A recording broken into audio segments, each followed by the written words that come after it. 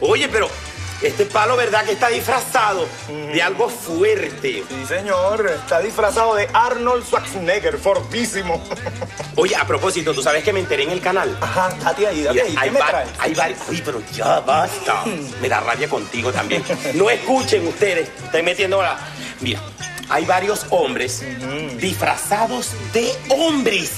Será mujeres disfrazadas de hombres. No, Ponciano. Hombres disfrazados de hombres en el canal. Ajá, ¿cómo es eso? Ay, pues tú me entiendes, tú eres un cráneo, tú eres un coco, tú no eres bruto. El otro que se disfrazó fue Perucho Conde.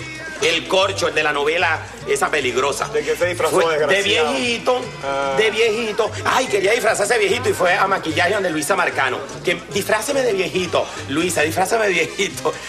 Le dice Luisa, ¿y cómo te voy a disfrazar de viejito si tú tienes más arrugas que... ¿Qué, qué, Tú qué- me entiendes, tú eres un cráneo, tú eres un coco, tú no eres bruto. Me voy. Porque me está esperando la bella Marisela Huitriago para una cita. Marisela. No, ve que vale, será para que le sirva de lamparita allá en el negocio ese que tiene en Caína, porque tú. ¿Yo qué? Bueno, tú me entiendes, tú eres un cráneo, tú eres un coco, tú no eres bruto. Lo que pasa es que tú crees que yo, pero yo no. ¿No qué? Bueno, tú me entiendes, tú eres un cráneo, tú eres un coco, tú no eres bruto. El otro que me enteré fue el Alejandro Corona, el que trabaja en Cheverísimo. Se le quedó un trauma con el papel ese que hizo de Eduardo Palomo. Ese carga el apellido Palomo metido aquí y aquí y aquí. ¿Cómo será que por allá en los, en los teques, allá en San Antonio de los Altos, le- Eh. adiós Palomo, adiós Palomo? Y optó por, ¿Por qué? por disfrazarse de jaula. De aula, ¿para qué? ¿Para qué? ¿Para qué? Oye, no, tú me entiendes, tú eres un cráneo, tú eres un coco, tú no eres bruto.